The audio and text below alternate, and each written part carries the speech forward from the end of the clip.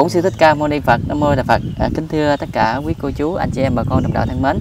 À, vừa qua thì chúng ta đã nghe qua một à, video à, anh hữu nghĩa đã giải cho bà con mình nghe à, ba điều răn cấm của đức thầy rồi. Điều thứ nhất là điều thứ hai là điều thứ ba.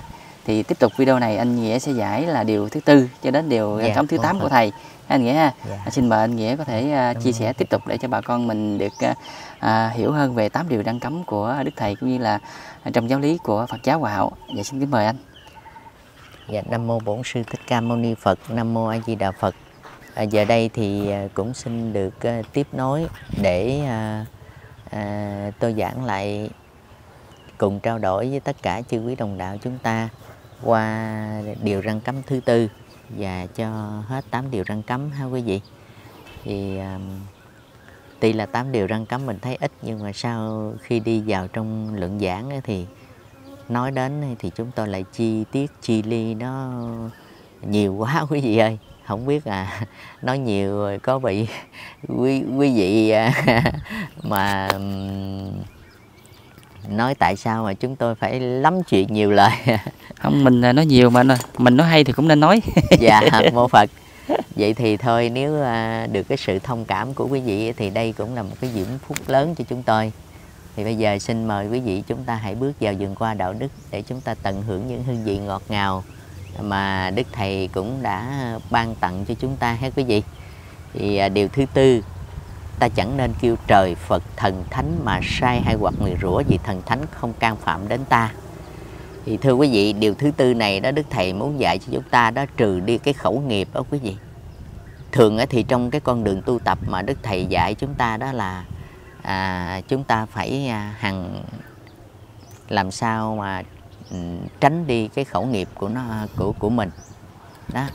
Mà đức thầy cũng đã à, từng à, luận minh cho chúng ta biết là trong đường tu nương theo tam nghiệp thì khổ não lắm chúng sanh có tịnh được tam nghiệp thì mới mong về cõi Phật. Tam nghiệp là thân nghiệp, khẩu nghiệp, ý nghiệp đọc lại trong cuốn khuyến thiện. Nhưng thầy xét lại khẩu nghiệp của các trò còn nặng nề hơn hết thì thưa quý vị, trong đường tu chúng ta quý vị ơi, nếu mà không khéo đó ha, là cái khẩu nghiệp của chúng ta đó, nó sanh ra cái tội lỗi nhiều lắm. Mà đức thầy nói, xưa đức thánh luận bàn cái lưỡi, ngài nói rằng các việc tại mày, thuận với hòa hay ghét với rầy cũng cái lưỡi làm thầy cắt việc phải kiếm cách đặng ta trừ tiệt lấy tâm thần làm chủ mới màu. Đó hai nữa đó quý vị đọc lại trong kinh điển nhà Phật đó thì ngài cũng cho biết là phù sĩ xử thế phủ tại khẩu trung sở dĩ trảm thân là do kỳ ác ngôn. Phàm con người có lời nói ở trong miệng chẳng khác nào là cái lưỡi búa. Nếu chúng ta mà nói sai đó nó sẽ quay lại chém mình. Cho nên do đó mà quý vị biết đó là trong công cuộc tu học á, thì đức thầy dạy chúng ta tránh đi cái tam nghiệp mà tránh đi tam nghiệp thì trong đó có nghiệp khẩu là sanh ra bốn điều. Đó, nó nặng hơn là thân nghiệp và ý nghiệp quý vị. Cho nên cái khẩu nghiệp ở thường ngày thì đức thầy cũng đã luận cho chúng ta biết được trong à, quyển khuyến thiện á. Tới ác khẩu thứ ba bài biện tiếng tục tằng thô lỗ hung hăng nào chửi cha mắng mẹ lăng xăng chẳng kể đến luân thường thảo hiếu. Hâm đánh giết những người hèn yếu hiếp sớm chờm cô bác chẳng kiên trong gia đình chửi rủa liên miên, hết dương thế kêu sang thần thánh. Chẳng kiên nể phật trời thượng cảnh cõi long cung mời một tối ngày. Đời ám u tội trạng thảm thai khuyên bá tánh, bá gia ráng bỏ. Thì thưa quý vị, chúng ta, cái miệng mà chưa tu á quý vị à thì thường ngày chúng ta hay là chửi rủa, đó hay kêu trời phật thần thánh xuống để chúng ta sai. Ai làm cái điều gì đó không phải chút cái mô phật phật ơi, xuống đây mà coi ngang coi nó vậy vậy vậy đó. Hay hoặc là mình kêu, ông trời ơi, ông xuống đây mà coi. Nó nó làm như vậy đó mà coi được hà. Đó thì mình thấy là mình kêu trời phật, mình xuống, mình sai, mình quyền rủa không à. Cho nên đó quý vị à trong cái con đường tu đó, đối với hạnh đức của cái người mà phật tử đó, thì chúng ta không nên làm như vậy. Những điều đó là những cái điều mà nó mất đi cái hạnh giáo của một con người. Cho nên đức thầy dạy chúng ta trong cái cái chánh ngữ á, thì đức thầy nói là câu chánh ngữ lòng so nghi tạc tuyến lượng bàn ngay ngắn tỏ tường nói những điều đức hạnh hiền lương chớ thêm bớt mà mang tội lỗi. Việc cháo trác ấy là nguồn cội lời xảo ngôn do đó mà ra. Đó thì quý vị thấy lưỡng thiệt làm cho thiên hạ bất hòa nhau ỷ ngôn lời chữ mắng những kẻ dưới tay ác khẩu tiếng độc ác tục tằng chữ rủa thần thánh. Giọng ngữ nói láo nói quyển hoặc thêm thừa thì đây là những cái à, cơ bản mà chúng ta thấy rằng mỗi khi mà cái khẩu nghiệp của chúng ta chưa được thanh tịnh đó thì, thưa quý vị, chúng ta đã gây ra biết bao nhiêu là cái tội trạng. Cho nên do đó đó quý vị, điều răng cấm thứ tư này đức thầy dạy chúng ta là phải trừ đi cái khẩu nghiệp. Hãy bỏ những, hãy bỏ những điều làm cho cho, hãy tập lời nói mình cho được chân chánh đúng với sự thật. Hãy bỏ hết những xảo ngôn, cháo trác, những tiếng thô lỗ cộc cằn phàm những khi bàn luận việc chi phải nói lời tỏ tường ngay thẳng, đối với con cháu phải dùng lời nói đoan trang nghiêm chỉnh, nó hiền hậu để dạy dỗ chúng. Đó là những lời mà đức thầy đã khuyên dạy chúng ta, để rồi khẩu nghiệp của chúng ta sẽ được trong sạch.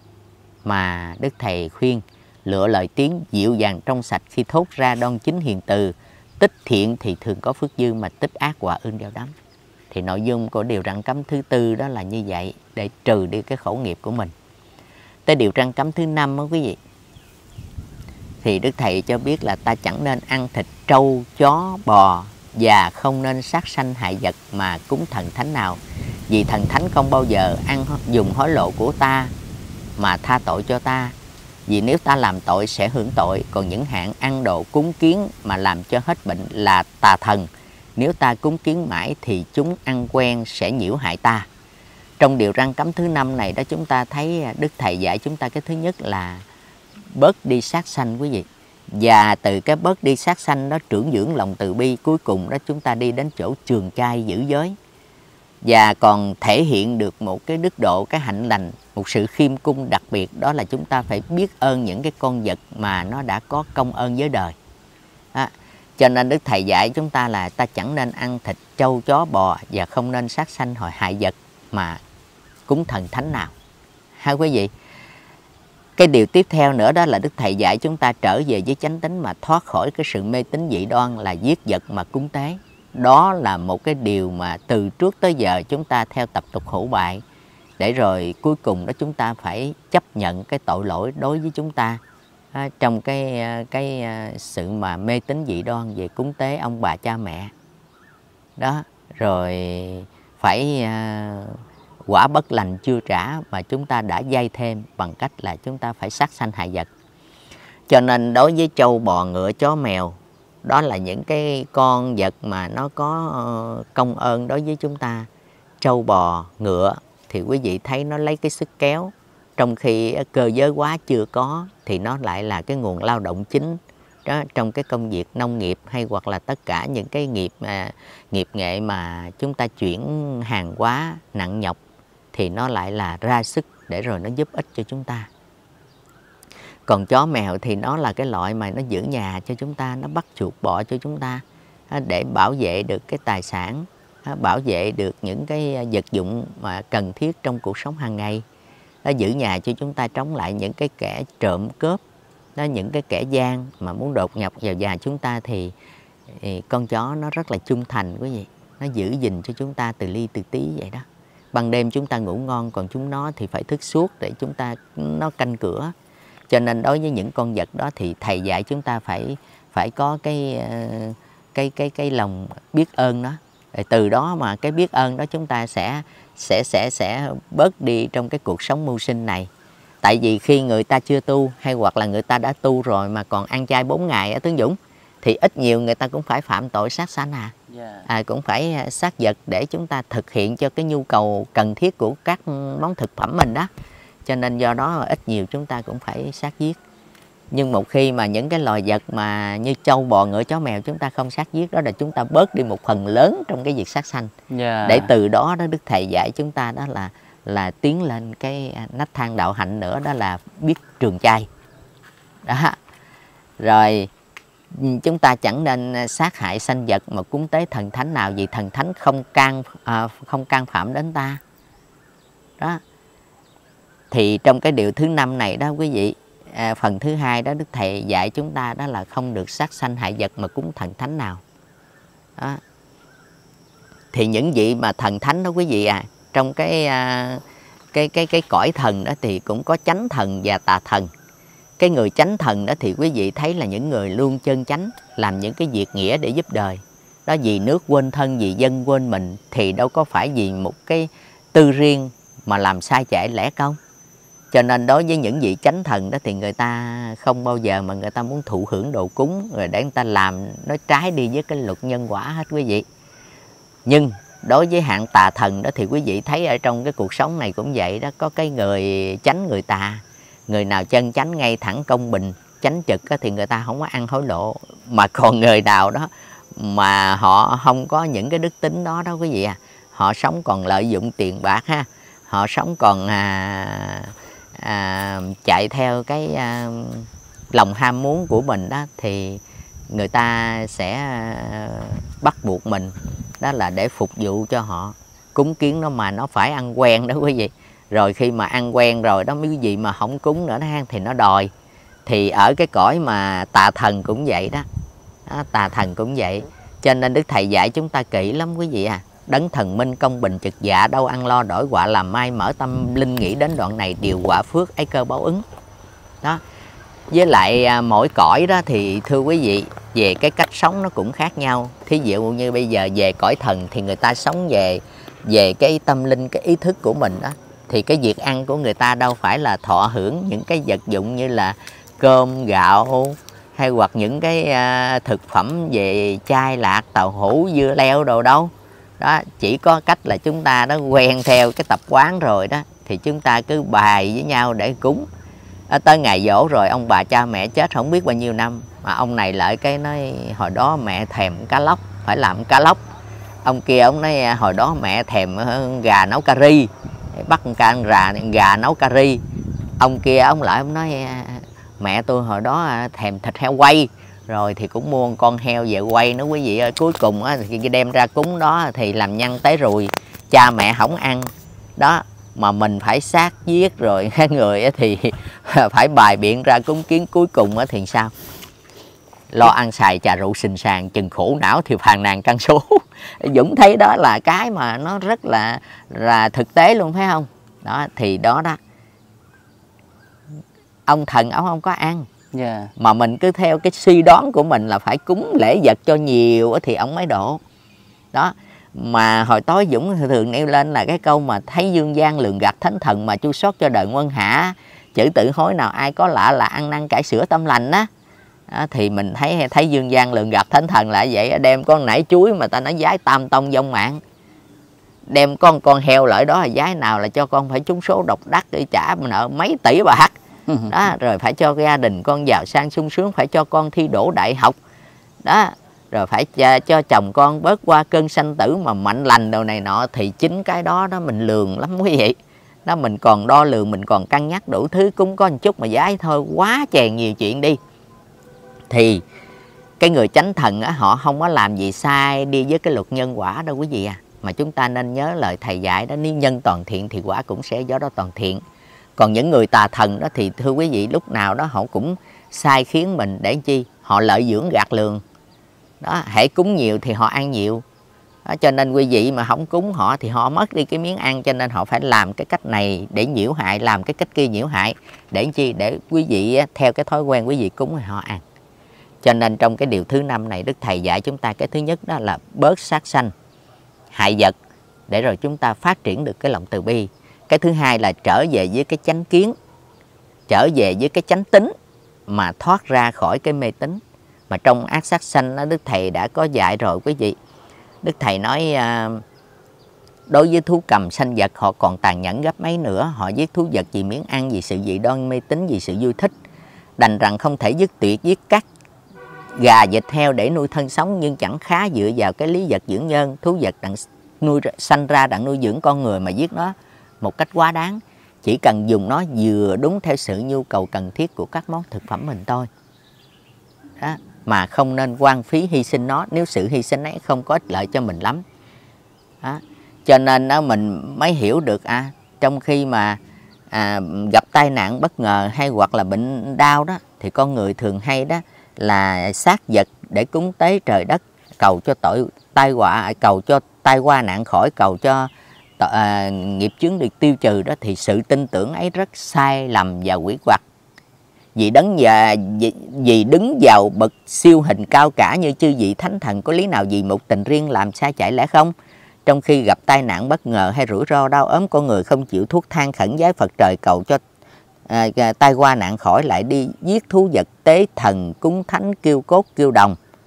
Đó trong khi họ giết thú vật đặng tế lệ họ đã phạm một tội mà lúc họ chưa đền bội các tội ác trước được đó, thì như vậy đó, đức thầy dạy chúng ta đó là cái phần sau đó quý vị ạ à.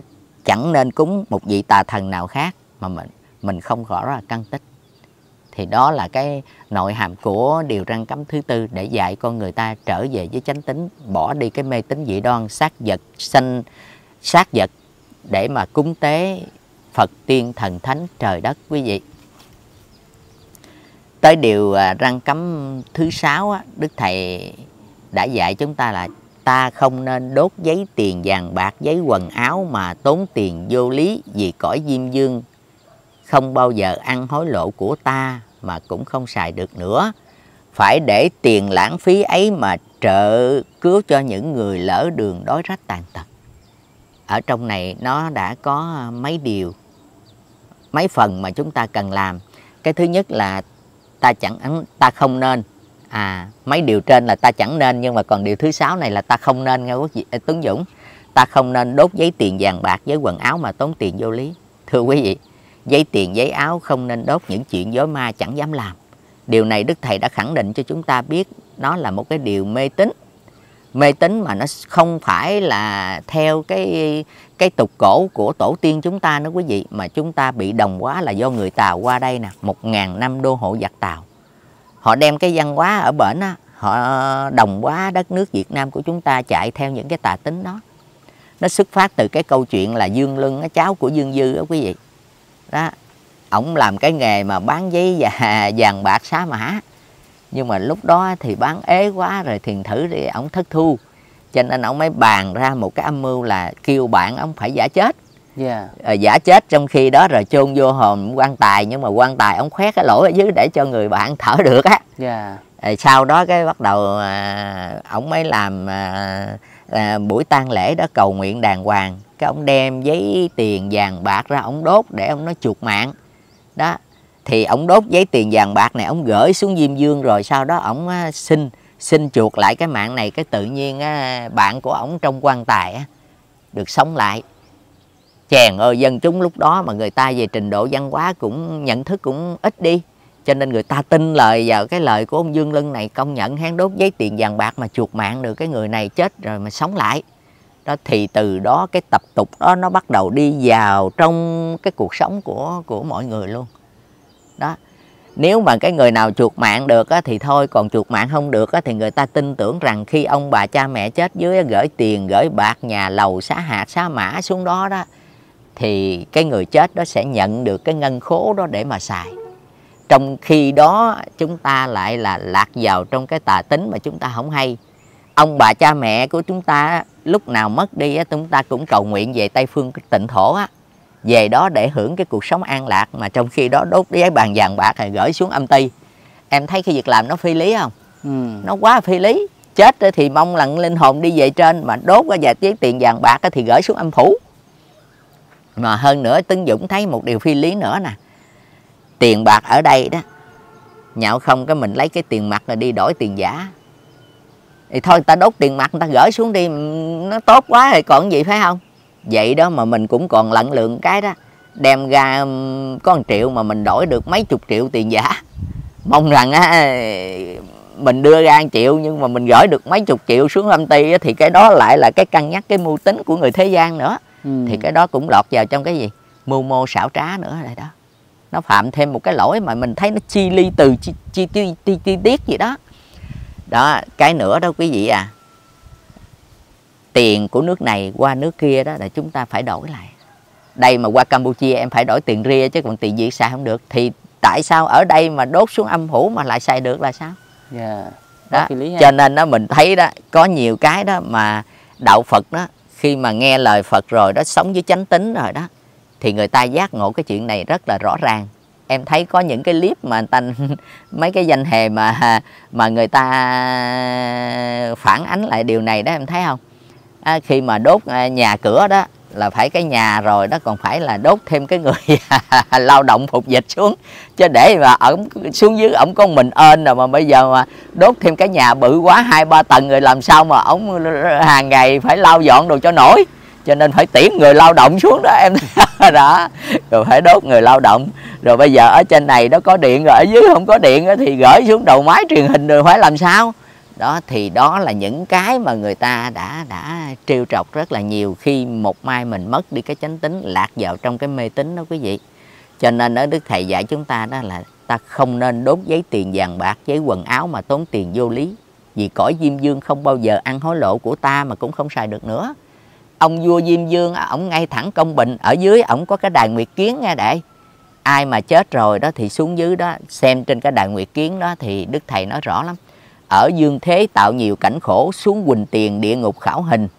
Sổ sách kia tội phước đinh ninh phạt với thưởng hai đường tỏ rõ thì anh hỏi đệ làm sao mà làm sai được? Ừ. ông vua minh dương ở dưới ổng đâu có làm sai được quý vị. Cho nên do đó đó chúng ta đốt với tiền bạc vàng bạc xuống đó thì ông vua diêm dương cũng không thể ăn hối lộ của ta mà cũng không xài được nữa. Không ăn hối lộ mà tiền bạc này đốt chứ không xài được nữa thì như vậy đó nó có lợi ích gì quý vị ạ à? cho nên do đó mà đức thầy dạy chúng ta đó là là phải không đốt giấy tiền vàng bạc phải chấm dứt ngay cái cái cái cái uh, tục lệ mê tín này với hai nữa đó quý vị thấy bây giờ đốt cái giấy tiền vàng bạc cũng là một cái cảnh trạng làm ô nhiễm môi trường rất là nhiều trong khi đó đó đem ông bà cha mẹ di quan đến phần mộ rồi đó người ta đốt giấy tiền vàng bạc rải đầy đường hết trơn đó, thì quý vị thấy cái cảnh quan môi trường của đường phố hay hoặc là con đường vào làng của mình nó còn đẹp xinh đó không quý vị không còn nữa quý vị à đó mà thay vào đó đó quý vị chúng ta lại phạm một cái sai lầm là chúng ta làm ô nhiễm cái môi trường đó đi yeah. Dạ. thì chính cái điều này mà nhà nước hay hoặc là trong tôn giáo nhà Phật bên kia các nhà sư đó người ta cũng tỉnh cảnh tỉnh rất là nhiều còn đối với Phật giáo Hòa Hảo mình thì cái điều này thì tôi thấy rằng trong tín đồ của chúng ta không ai làm. Tuyệt đối là không ai làm. Đó, cho nên à, thầy thầy dạy chúng ta đó là giấy vàng giấy giấy vàng giấy áo không nên đốt những chuyện dối ma chẳng dám làm thì chúng ta nghe lời thầy phải tuyệt đối luôn quý vị. Đó thì chúng ta hiểu rằng đó với cõi diêm dương thì ông diêm dương ông cũng không có có có dùng cái này mà cũng không xài được nữa. Thì như vậy là chúng ta làm việc phi lý. À, rồi kế tiếp nữa thầy nói là hãy để số tiền lãng phí ấy mà trợ cứu cho những người lỡ đường đói rách tàn tật thì để Dũng thấy mình không làm chuyện phi lý này có dư tiền ra đó mình ừ, lại phát triển giúp cái đời từ bi giúp đời. Đó là một cái việc nghĩa mà cần có trong cái cuộc sống này. Cho nên đó quý vị thấy không có những người tín đồ Phật giáo hòa hảo người ta rất là giàu quý vị giàu lắm. Cái khả năng dư ăn dư để khi ông bà cha mẹ chết thay vì mua cái hòm sao hay hoặc một cái hòm sến đó quý vị à mấy chục triệu. Nhưng mà cái người chết rồi đó người ta hiểu theo cái đạo lý nhân nghĩa rồi đó quý vị. Người ta nói chết là hết. Cho nên trong khi đó thì chỉ đem à, chôn cất cho nó kín đáo đừng để hôi thối có hại cho người sống là đủ rồi. Thì người ta chỉ cần là quý vị à nói với mấy anh từ thiện á, có cái à, cái cái áo quan ở bên ngoài để đủ che thân rồi sau đó chôn xuống. Đó rồi còn dư cái số tiền mà mua uh, hòm sến hòm sao đó quý vị dư lại mấy chục triệu mấy trăm triệu đó thì người ta lại là thi ân bố đức giúp cho những người lỡ đường cơ nhở đói rách tàn tật. Thì đây là một cái việc làm rất là được tán thán luôn thưa quý vị. Cho nên do đó thầy dạy chúng ta đó cái thứ nhất là trừ đi cái mê tín nè. Cái thứ hai trong cái điều răng cấm này đó là chúng ta phát triển được cái lòng từ bi, làm việc nghĩa để giúp đời, tăng trưởng được cái cái cái chánh tính và tăng trưởng được cái cái cái hạnh đức của một người tu và tăng trưởng được cái phước duyên mà chúng ta cần có nữa quý vị. Đó, thì đó là điều răng cấm thứ sáu. Tới điều răng cấm thứ bảy thì, thưa quý vị, đây là một cái điều răng cấm mà chúng ta thực thi rồi. Đó, nó sẽ làm cho giữa à, cái à, tri kiến của chúng ta đó quý vị. À, giữa cái chánh kiến và cái à, cái trí tuệ của chúng ta sẽ được phát khai cùng một lúc. Mà thầy nói đứng trước việc chi về sự đời hay đạo đức ta phải suy xét cho minh lý rồi sẽ phán đoán việc ấy. Luôn lúc nào chúng ta sống ở đời trong cái cuộc sống tu học này đó quý vị à thì chúng ta rất là cẩn thận chúng ta cẩn thận mỗi khi mà chúng ta phán đoán mọi sự việc đó quý vị phải trên cái tinh thần là chúng ta nhìn bằng con mắt trí tuệ. Lấy tâm, lấy trí xét soi. Chứ không phải là đừng bả đâu tin bướng nghe càng làm ngu muội đỏ thân ủng kiếp. Cho nên do đó đó quý vị, mọi sự việc đó chúng ta phải lấy chánh kiến của đức phật, đức thầy đã dạy để chúng ta đo lường. Thứ nhất, chánh kiến việc chi xem nhìn, luận bàn chân lý cho minh việc chi xét, đoán xảo tin mới là. Hay là chữ thứ nhất à, cho dân biết một đầu chánh kiến trí linh mẫn nhìn xem các chuyện phải đừng cho lầm lạc nẻo tà vào việc người hay việc của ta nên phán đoán cho tường cho tận. Tội với phước xét coi nhiều bận mới khỏi lầm tà kiến đem vào. Đó thì quý vị thấy đó cái chánh kiến đó là một cái ánh nhìn mà chúng ta nhìn thấu đáo mọi sự việc vừa sự vừa lý nữa thưa quý đồng đạo. Cho nên do đó đó quý vị ạ à, đứng trước vị chi về sự đời hay đạo đức ta phải suy xét cho minh lý là như vậy. Đó minh đó là do cái tâm của chúng ta đó nhận định mọi sự việc chủ trì trước khi ta sắp là à, trí chúng ta nhận định mọi sự việc trước khi chúng ta đưa sắp đưa cho tâm chủ trì. Giữa trí và tâm thì tuy là hai nhưng mà thật sự nó là một. Hay quý vị hãy dụng á, thì là trí mà hãy trở về cái thể nó là tâm. Cho nên trong tâm trí luôn lúc nào cũng đi đôi tu rèn tâm trí cho minh tánh kia thành kiến thì phải tình chùi lao nó như vậy thì chúng ta nhận định mọi sự việc đó không phải là chúng ta nhận định bằng cái cái cái ừ, cái ý thức suông ở bên ngoài. Mà chúng ta nhận định đó là chúng ta phải đem vào trong tâm não của mình. Đó, lấy tâm chủ trì mọi việc. Lấy trí phán xét mọi việc trước khi đưa cho tâm chủ trì được. Vậy ta học đạo mới mau thành công đắc quả. Cho nên do có chánh kiến rồi đó thì quý vị ơi, chúng ta xét nét mọi việc đó theo cái tinh thần giác ngộ chứ không phải là theo bản ngã không phải là theo vì cái sự à, tư thù không phải là vì thiếu cái vì cái sự thiếu sáng suốt. Đó mà chúng ta đưa ra cái quyết định dội vàng để cuối cùng đó chúng ta phải phàn nàn vì cái gây ra tội lỗi. Cho nên à, trong cái chánh kiến đó thì chúng tôi xin được lược thuật lại để chư quý đồng đạo chúng ta mới thấy được mọi sự việc trên đời này chúng ta muốn kết luận điều gì đó quý vị thì phải phải vừa sĩ và lý viên dung hòa mình vào trong cái hoàn cảnh của người đó, đứng vào góc độ người đó, đứng chung cái biên độ của người đó để chúng ta có được một cái sự thông cảm mà nhìn sự việc nó không còn sai chạy. Tránh đúng sự thật, kiến thấy xem xét tránh kiến dòm thấy xem đúng theo sự thật.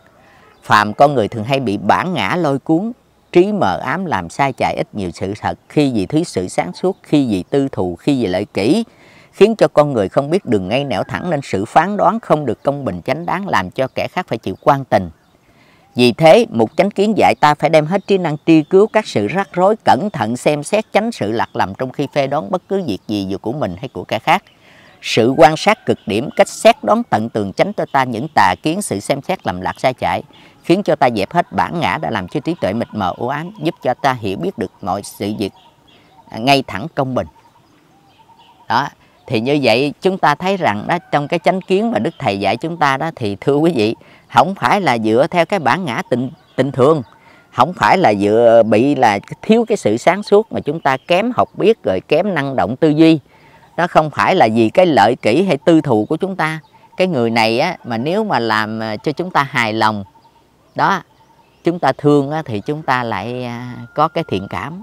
Mà cái người kia đó họ bất đồng chánh kiến với mình rồi mình lại có một cái là phải làm sao coi như kẻ đối nghịch. Đó, mình phải hạ đối thủ đôi gián. Đó, phải dùng cái kế này mưu nọ thì thưa quý vị, cái đó là không nên trong điều răng cấm thứ bảy này. Cho nên á, điều răng cấm thứ bảy là dạy con người phát huy được cái chánh tri kiến của chúng ta. Thì như vậy đó quý vị à chúng ta đã bước qua nách thang của đạo nhân để chúng ta bước vào trong cái ngưỡng cửa của đạo Phật. Nếu điều thứ bảy này mà chúng ta mà thực nghiệm được đó thì thưa quý vị, đạo Phật chúng ta đã đã đi vào và đạo nhân chúng ta đã tiến xa lắm rồi đó tới cái điều răng cấm thứ 8 đó. Đức Thầy dạy chúng ta phải thương yêu lẫn nhau như con một cha, dìu dắt lẫn nhau vào con đường đạo đức nếu như ai giữ đặng trọn lành trọn sáng về nơi cõi Tây Phương an dưỡng mà học đạo cho hoàn toàn đặng trở lại cứu giúp chúng sanh thì thưa quý vị, chúng tôi đã nhắc quý vị à, hồi lúc nãy cái điều răng cấm thứ bảy đó là bằng cách mà chúng ta phát huy được cái chánh tri kiến của chúng ta, đó là pháp tu tự lực là thiền tông, nghe tướng dũng. Nhưng đối với cái cái điều răng cấm thứ 8 này, đó là cái pháp môn mà chúng ta trở về với cái à, tha lực rất là nhiều. Đó. Cái thứ nhất là thầy dạy chúng ta là phải thương yêu lẫn nhau như con một cha, để dìu dắt lẫn nhau vào con đường đạo đức. Phải không? Tóm tắt ta phải thương yêu lẫn nhau như con một cha mà hãy thương yêu lẫn nhau như con một cha thì cái tình thương đó nó không có còn phân giai cấp nữa. Nó xóa bỏ hết các tất cả giai cấp. Nó xóa bỏ sự sang hèn phải không? Mà nó chỉ là nhìn trên cái khía cạnh là anh em một nhà thôi. Cho nên á, anh em một nhà mà có đôi khi người ta à, em mình mà làm cái gì nó không phải hay hoặc anh mình làm cái gì đó mà nó hơi trái trái lòng thì chúng ta vì cái tình mà tương thân cốt nhục á, để dũng thì lúc đó chúng ta sẽ có một cái sự thông cảm đặc biệt. Sự thông cảm đó nó là một cái uh, thứ tình yêu mà nó kết nối giữa hai tâm hồn lại với nhau gần gũi lại với nhau để đem đến cái sự hài hòa an lạc. Đó cho nên nó tóm tắt ta phải thương yêu lẫn nhau như con một cha. Mà nếu mà chúng ta xem nhau không phải là con một cha thì có đôi khi đồng đạo mình cũng bất đồng nữa. Ông này thì ông nói ông này ông tu còn dở ẹt à. Ông nói cái gì mà tôi thấy là tiểu thừa không? Ông kia thì ông nói tôi tu đại thừa nè ông đó ông tu bằng tôi không? Ông này thì ông nói ông đó vô làm sứ ngôn viên ông cúng gì đâu mà ông nói dông dài có ca có kệ làm ta đứng rung chân. Ông kia ông nói tời lời nói đầu ông đó là sao bằng tôi nè nho một bụng luôn. À, thì có đôi khi mình còn phân tích. À, thậm chí đến cái chỗ này nữa nè mình cũng thấy đau lòng lắm đệ là sao? Là tại vì mình chưa phát huy được tóm tắt ta phải thương yêu lẫn nhau như con một cha. Đó mình còn coi là mình con khác cha không à. Thiền thử mới có những cái sự phân chia hơn thua giai cấp sang hèn. Đó rồi à, à, người thì tiến bộ người thì còn chưa giác ngộ. Đó là do cái mình không có đặt cái vào chỗ là mình là con một cha với nhau à, cho nên thầy dạy mình đây điều răng cấm thứ 8 trước nhất là mình phải phải phát triển cái lòng từ bi cái hạnh lành của mình lên. À, nó từ cái trí tuệ đó mà tất cả chúng ta nhìn ai cũng có Phật tánh. À, mà Đức Phật nói ta là Phật đã thành còn chúng sanh là Phật sẽ thành. Và chúng ta quán triệt cái câu là nhất thiết chúng sanh giai hữu Phật tánh thì tôi tu dở tôi cũng sẽ là một vị Phật trong tương lai. Từ từ tôi tu tôi cũng thành. Để Dũng là một người giác ngộ sớm á, thì để Dũng tu á, à, lại là tiến bộ hơn thì đệ Dũng sẽ thành trước hơn. Nhưng tất cả chúng ta đều là con của Phật. Đó cũng gốc ngài thượng đế xuống trần mà. Cho nên do đó quý vị à tóm tắt ta phải thương yêu lẫn nhau như con một cha là như vậy. Hãy là con một cha là anh em một nhà rồi đó thì chúng ta không có cái gì đó mà phải phân bua hơn thua đó, hèn sang dinh nhục gì hết đó quý vị. Mà luôn lúc nào chúng ta cũng phải trang hòa chia sẻ đồng cảm với nhau để dìu dắt nhau vào con đường đạo đức. Đây chính là chúng ta phát được cái lòng bồ đề. Đây chính là cái tâm từ bi của chúng ta rộng lớn. Đây chính là cái tinh thần bác ái mà chúng ta luôn lúc nào cũng thực hiện trong cái cuộc sống của mình. Đó, thì như vậy đó, thưa quý vị, chúng ta sẽ quán triệt được cái ý thứ nhất trong điều răn cấm thứ 8 và nếu như ai giữ đặng trọn lành trọn sáng về nơi cõi Tây Phương an dưỡng mà học đạo cho hoàn toàn đặng trở lại cứu vớt chúng sanh. Vậy thì muốn giữ đặng trọn lành trọn sáng thì sao quý vị? Đó là một cái pháp tu rất là căn bản. Mà có giữ được trọn lành trọn sáng này là ngay ban đầu đó. Chúng ta đã tu theo cái nhân đạo. Phải không quý vị? Muốn làm tròn nhân đạo phải giữ dạng tứ ân. Đó, nhưng trước hết phải tránh tam nghiệp và chừa thập ác cũng như muốn làm giàu phải ráng tránh đừng cho thiếu nợ đó là chọn lành nghe quý vị. Đó. Mà đức thầy à, nói à, trừ xong ba nghiệp chướng, hãy làm theo tám điều chánh và sau khi diệt được thấp ác rồi, tự nhiên 10 điều lành hiện ra.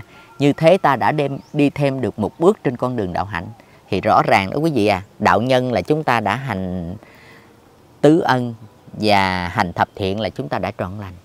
Khi trọn sáng là chúng ta bước vào pháp môn tịnh độ, bước vào bát chánh đạo, bước vào thập nhị nhân duyên, bước vào môn hoàng diệt bước vào trong trong sáu pháp ba la mật của bồ tát thường hành, thì thưa quý vị, chúng ta sẽ được trọn sáng. Cho nên á, quý vị à chọn lành, chọn sáng. Cái điều răng cấm thứ bảy là pháp tu tha lực, là con người chúng ta tự phát huy lên tránh chi kiến của mình đi theo bát chánh đạo. Chúng ta chọn sáng. Trí huệ được phát khai đó. Rồi điều răng cấm thứ 8 này, chúng ta giữ được cái tình thương yêu hài hòa bất khả phân, đó là thể hiện được đức lành từ bi hỷ xã trong cuộc sống đó. Thì nếu mà chúng ta giữ được như vậy rồi đó quý vị thì chúng ta cũng không quên là sau khi được giảng sanh cực lạc à, tự lực của chúng ta phát huy trong điều răng cấm thứ bảy. Đó. Mà nếu được trọn lành trọn sáng nữa thì chúng ta lại được diệu năng của Phật lực gia hộ nữa thì thưa quý vị chúng ta sẽ được giảng sanh cực lạc. Điều đó là tất nhiên. Nhưng mà về tới bên đó rồi đó thì cái tâm bồ đề cái sự nghiệp mà chúng ta cứu độ nhân sinh đó quý vị à cũng chưa hết mà học đạo hoàn toàn rồi chúng ta còn thể hiện ấy trong cái kiếp sống của mình. Đó thì diệu năng của tám điều răng cấm này quý vị thấy chúng ta thực nghiệm từ điều răng cấm thứ nhất thứ nhì thứ ba thứ tư thứ năm thứ sáu là để hoàn bị được cái hạnh đạo nhân trong cái cuộc sống tu tập của chúng ta. Đến điều răng cấm thứ bảy là chúng ta tiến lên một cái quả vị nữa đó là bước vào trong cái ngưỡng cửa tâm linh của nhà Phật. Đó, chúng ta bước vào cái cái cõi duyên dung đó là cõi Tây phương cực lạc hay cõi niết bàn? Trụ xứ mà chúng ta cần về, rèn luyện cho chúng ta có được cái chánh tri kiến tột bực, rèn luyện cho chúng ta có hạnh lành từ bi, hỷ xã đó, đủ đầy viên mãn, quý vị. Thì như vậy, chúng ta sẽ hoàn mãn được cái công nghiệp tu học của mình là giảng sanh về thế giới an lành của chư Phật hay chứng đạo tại hiện tiền. Đó cho nên à, cái đoạn cuối thì đức thầy dạy chúng ta là tất cả thiện nam tín nữ trong tôn giáo nhà Phật lúc rảnh việc nên thường coi kệ giảng mà giữ gìn phong quá nước nhà giữ những tục lệ chân chánh bỏ hết tất cả những sự dị đoan mê tín thái quá mà làm cho đạo đức suy đồi. Đạo pháp thường hay dung với hòa xét người cho tột xét thân ta. Nếu người rõ phận vô lòng thứ ta thứ được người người thứ ta. Thì đoạn kết này đó đức thầy dạy mình khi mà khi rảnh việc đó quý già à, lúc rảnh việc thì thường thôi coi kệ giảng mà giữ gìn phong quá nước nhà. Điều này đức thầy dạy mình rõ lắm như vậy. Con đường mà chúng ta đi pháp môn mà chúng ta học căn bản nhất là văn tư tu. Chúng ta muốn phát khai trí tuệ mà trở về trí trí huệ mà thật tướng đó quý vị là trước nhất chúng ta phải dùng cái văn huệ. Khá chí tâm học hành kinh sám mới thoát nơi miệng hát ám phong ba rồi mới đi vào tư tư huệ tức là cái tư duy của chúng ta đó quý vị à, tránh tư duy một ấy thanh cao hãy tưởng nhớ những điều đáng nhớ trên cùng thầy trên cùng à, dưới dầu thầy hay tớ cũng một lòng tín ngưỡng của mình. Dù cho ai phá rối đức tin ta cũng cứ một đường đi tới đó. Thì thưa quý vị cái này chính là tránh tư duy. À, chúng ta tư duy chúng ta hiểu được cái đường đi nước bước rõ ràng nó thực hiện tất cả các pháp mà đức phật đức thầy đã chỉ dẫn. Đó rồi như vậy chúng ta sẽ đạt đến chỗ là rèn luyện các đức tính cho được yên tịnh hỷ lạc, nghiêm trang, quyết gắng công phu, một lòng bước tới niết bàn, đặng có tế độ chúng sanh, thoát khỏi luân hồi quả báo. Thì đây chính là tư huệ. Và đạt đến trí huệ của chúng ta thì, thưa quý vị, nếu ai, đức thầy nói nếu ai mà biết chữ tu trì tâm bình tĩnh được thì phát huệ, thì chính cái này là cái sự sáng suốt vô cùng tận của chúng ta. Từ đó chúng ta nhận định mọi sự việc bằng một cách rất là tin tường đó mà không còn bị sai chạy không còn có bị những cái lỗi nào mà gây ra à, những cái chướng nghiệp quan khiên để chúng phải dùng bước giác tiến thưa quý đồng đạo cho nên do đó mà đức thầy dạy chúng ta là phải thường coi kệ giảng mà thầy giảng nghe kỹ lắm nghe dũng à, đi làm ruộng rẫy cũng phải đem hờ theo xem đó à yeah. Dạ. chứ thầy dạy mình mà tới đi làm ruộng rẫy nhưng mà cũng phải đem cái cuốn quyển thì dần giáo lý của đức thầy đem để mình ôn hàng ngày coi gì để đi đâu để cũng đem cái quyển tôn chỉ hình à, tôi khen để ở đó đó rảnh là coi ờ, bởi vậy nhưng mà phải đọc kỹ lại nghe yeah. Dạ. còn chật ờ, một hai chữ đó yeah, yeah. thì à, thưa quý vị sau khi mà chúng ta có coi á, có coi những lời sám giảng của đức thầy thì với lúc đó chúng ta mới rèn được cái kỹ năng tránh cái tránh tránh tính của mình đó rồi chúng ta phải loại trừ những cái mê tín thái quá mê tín dị đoan thái quá là gì quý vị? Bây giờ đó, em thấy trong cái cuộc sống này đó, thì quá nhiều là là là những cái hiện trạng nó xảy ra rồi để à. Có đôi khi tự nhiên cái người đó, họ sống cuộc sống bình thường. Cái rồi bây giờ đó thì ông lên bà xuống, cái xưng là à, người này thì giàu sát xuống điển gì rồi theo nào là 32 tướng tốt 80 vẻ đẹp gì mà huynh quang xà bung xà ban rồi cũng nói là là mình chứng ngộ rồi được điển lành của Phật Thích Ca Mâu Ni. Thì tôi nói với quý vị à ông ba ông nói là lầm tà đạo thì nhân hư bất dụng cho nên do đó quý vị chúng ta phải dùng cái trí tuệ của chúng ta để xét nét điều nào là chánh lý điều nào là ma mị để chúng ta loại trừ nó đi mà thầy nói làm chân chánh là tiên là phật còn làm gian ác là quỷ là ma. Đó. Rồi trong những cái câu chuyện bên thầy đó thì thưa quý vị thầy bài tà hiển chánh để cho chúng ta thấy được cái nào chúng ta nên theo và cái nào chúng ta không nên theo. Cho nên á, giữ eh, lúc rảnh việc nên thường coi kệ giảng mà vĩnh dình không quá nước nhà giữ những tục lệ chân chánh. Hai quý vị rõ ràng lắm giữ những tục lệ chân chánh bỏ tất cả những sự dị đoan mê tín thái quá làm cho đạo đức suy đồi mê tín thái quá là cái mà chúng ta đốt giấy tiền vàng bạc cái đó cũng là mê tín thái quá. Giết hại sanh vật cúng tế cũng mê tín thái quá. Đó rồi đáp ứng cái nhu cầu của cái người này đòi ăn tiền đó để cúng kiến chuộc tội đó, chuộc mạng đó, rồi người ta đòi ăn tiền để phục vụ cho cái công của người ta đó là phải làm cho người này hết bệnh làm cho cái người kia đó là phải à, thoát đi cái nghiệp chướng thì cái đó là những cái mê tín thái quá mà bọn tà thần lợi dưỡng gạt lường thường hay bài ra cúng kiến để làm cho trí đạo của chúng ta càng ngày phải tối tâm mờ ám. Cho nên đức thầy chỉ rõ điều đó quý vị à đó. cho nên à, đức thầy cũng thường hay dạy bảo cho chúng ta đó quý vị là phải phải trở về bỏ những cái dị đoan mê tín đó. À, mà trong cái bài khuyên bỏ dị đoan á đức thầy cũng nói rõ lắm thiện tính tới đây chớ ngã lòng. Sát trần mê mệt nổi long đông. Cậu cô chú bác đừng coi bói theo lối dị đoan mất bạc đồng. À, bạc đồng chẳng dụng dụng chân không quyết chí năng niêu giống lạc hồng tìm tỏi đạo màu trong Phật pháp cho đời hiểu rõ lý chân không. Cho nên bây giờ đó thì thực hiện được tám điều răng cấm này đó chúng ta mới giữ gìn được cái phong hóa nước nhà giữ những cái tục lệ chân chánh và giữ những cái tinh hoa của Phật pháp để rồi chúng ta phát triển được cái cái cái tinh thần đạo đức trong mỗi con người của chúng ta. Tìm được cái chí thanh cao để chúng ta chọn được cái hướng đi của mình là nhắm cảnh niết bàn tấn tới quyết chí tu hành để đắc thành đạo quả. Cho nên bốn câu kệ sau đức thầy nói đạo pháp thường hay dung với hòa. Trong cái cuộc sống đạo pháp này thì thưa quý vị, chúng ta dung là thu vào. Phải không quý vị? Cho nó đầy đặn. Nhưng mà cuối cùng ở quý vị à chúng ta phải trang hòa lại với nhau. Không có sự cao thấp không có sự mà hơn thua không có sự mà phân chia cái giai cấp nữa, thì như vậy nó mới đúng là cái tinh thần đạo đức. Một sự bình đẳng mà tất cả chúng ta đều phải hòa trang trong chân lý với nhau. Không có giai cấp khi dòng máu cùng đỏ, không có giai cấp khi giọt nước mắt cùng mạng. Đó chính là tinh thần của đạo phật.